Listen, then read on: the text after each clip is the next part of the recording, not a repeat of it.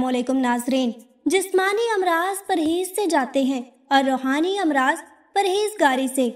अपना ख्याल भी अहम है, लेकिन सबसे अहम ख्याल इसका है जिसने तुझे साहिब ख्याल बनाया। मोमिन की राहत किसमें है? अगर गफलत हो गई हो तो सजदे में, अगर गुनाह हो गया हो तो तोबा में। इंसान को अच्छी सोच पे वो इनाम मिलता है, जो इसे अच्छे अमाल पे भी नहीं मिलता, क्योंकि सोच में दिखावा नहीं होता।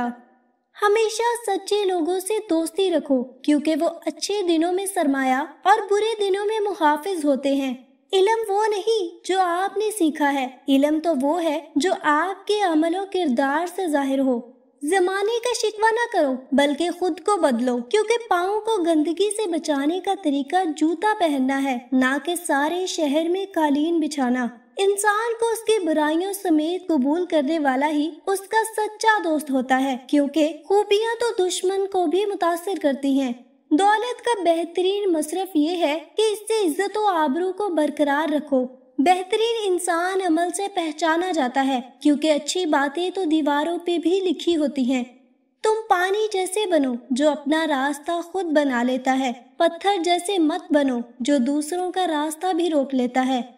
जो शख्स तुम्हारा गुस्सा बर्दाश्त कर ले और वो साबित कदम रहे तो वो तुम्हारा सच्चा दोस्त है।